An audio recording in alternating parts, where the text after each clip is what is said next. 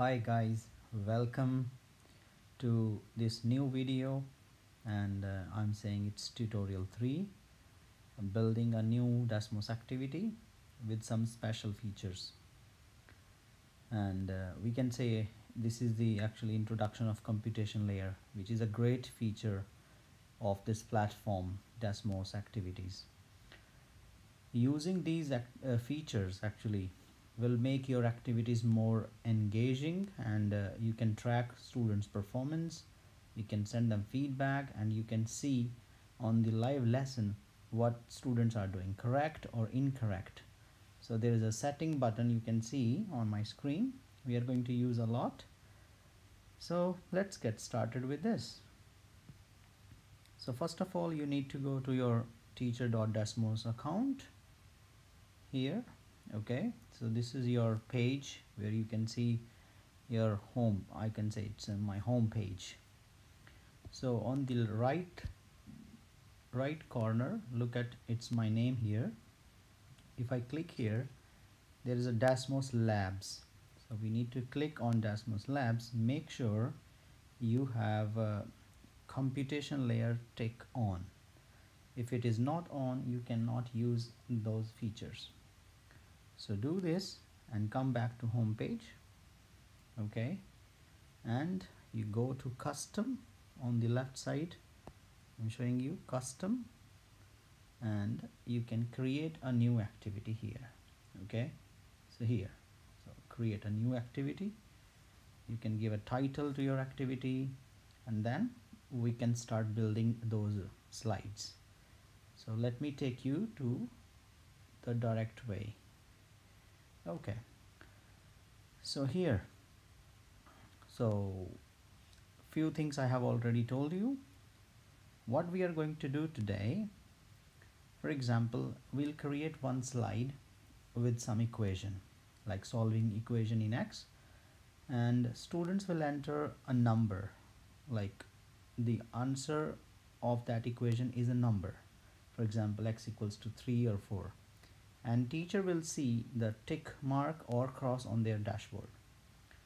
So we can you can see that if you see the preview of that page. Then we'll see some graph we'll see some card sorting activities. So let's see the first page.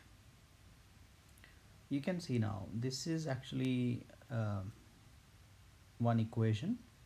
And if a student is typing here uh, for example 3 or 2 or wrong answer or right answer.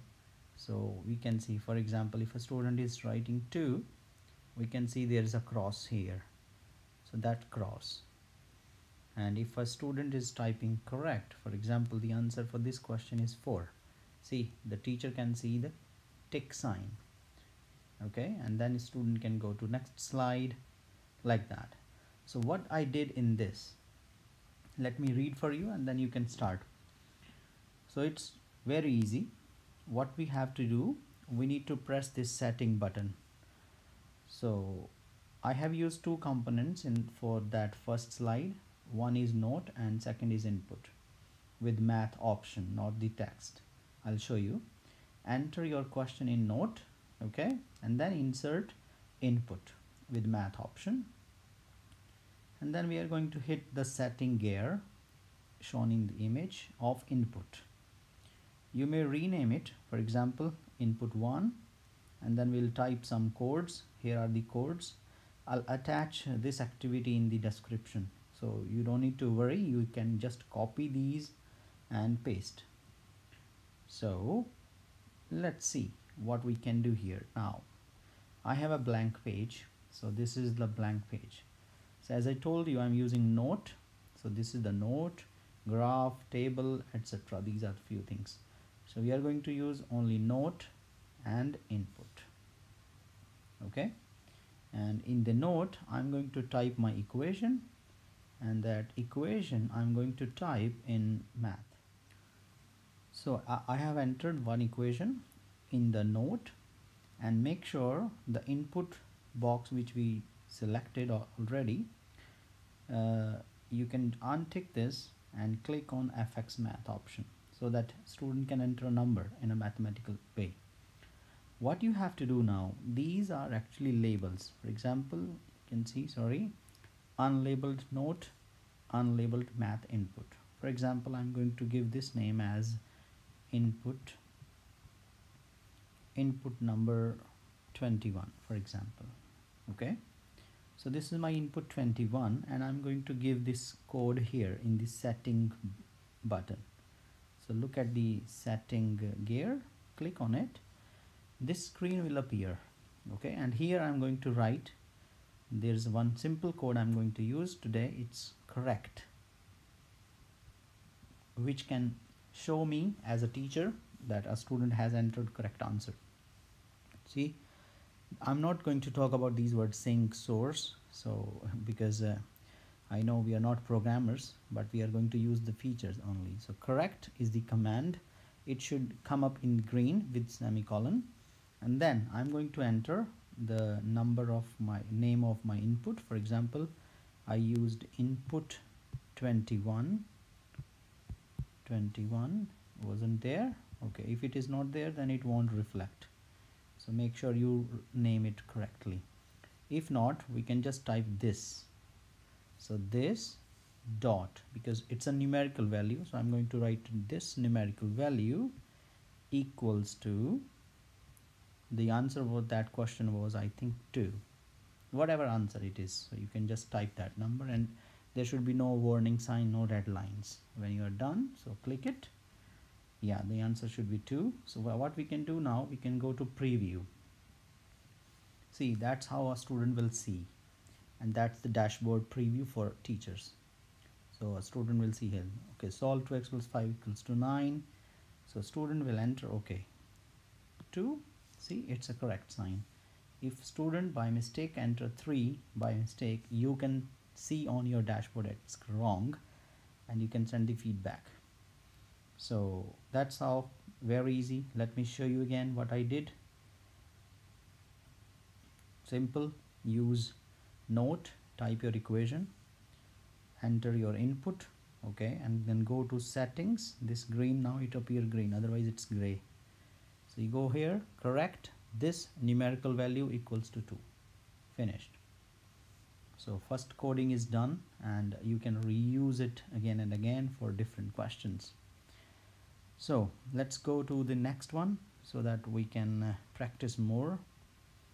Second thing what I have here I have a graph and uh, I have actually taken a line with some points labeled on it.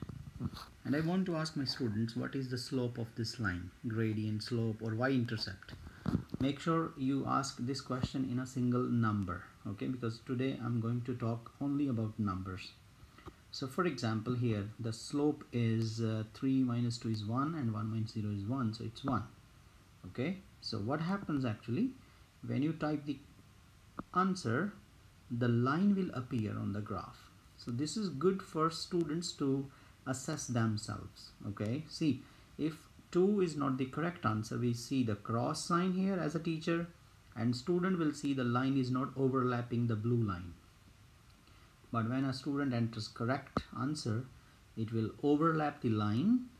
In this way student will know okay my question is correct.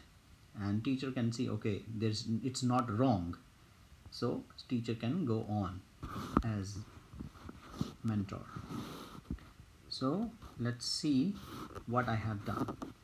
What I have done out of five six options I chose two. One is graph second is input. Okay? So on the graph let me show you what I have done. You can just type fx as x plus 2 simple as the original function which because uh, you are going to overlap it whatever students is going to enter. So these are not required. Maybe you can just skip them. Just enter this. y equals to let me show you here so y equals to m because uh, m is the number which I'm going to ask my students. Okay so I'm going to write here m and then x plus because 2 because I'm not asking other things I'm just asking the slope. So whatever you are going to ask use a letter a number like but do not hit this button add slider. Okay it should remain like this so don't add slider leave it as it is and done. Go to input sorry before you go go to setting bar of graph and define your number. So a number m and input 2 the input where student is going to enter. So it is input 2 dot numerical value again. Done. Now for correctness correctness again correct. So if you type correct I am using this feature actually function evaluate you don't need to do that but you can just do uh, correct. I will show you in the next slide don't worry. So we do the simple one. Okay so let me show you from the beginning what I did in this graph. I entered my function for example uh, uh, x plus 2 let's say 2x minus 1 is my line and I want to make it dotted. Okay so it's dotted now. You can change the color if you want. Okay let's say it's blue. Great. Now the next thing what you're going to use type y equals mx minus 1 because we are just asking 1 m. Don't hit add slider button okay? So once you're done you can insert your input bar okay? So I inserted the input and graph. What you have to do now you need to go to the graph settings here and type the number we want to define. See you, you type a number you, it will appear. Number what was the number? M. What is it actually? It's actually in the input for example input number 5 I'm going to give this name dot numerical value. Numerical value. Okay since it is not typed already that's why it's a warning sign. Let me type here input 5 and it will go away input 5 it's small I think yeah that's the reason input 5 okay so here we can go back to correct it. Input 5 see input 5 is here. Very good. Dot. Numerical value. Yeah why it's not appearing? Because we haven't chosen the math option. So yes it's correct now. We can go go go go go go. Go back and input 5 dot numerical value. Okay done. And here for correctness you can go here and type correct as I said before and just type input or this. This is okay. You don't need to define it all the time. This dot numerical value what is our, our answer? That is 2 the gradient is 2 actually. Okay fine. Done. Preview that's the line. Student will enter the slope. So you can enter in the height, uh, heading the question. So if a student will type 1 the line will appear not correct. 2 yes it is overlapping and teacher can see there's no cross. So that's how we should do it. I believe if you just practice these two that's more than enough and then we can talk in the next video the other features. Thank you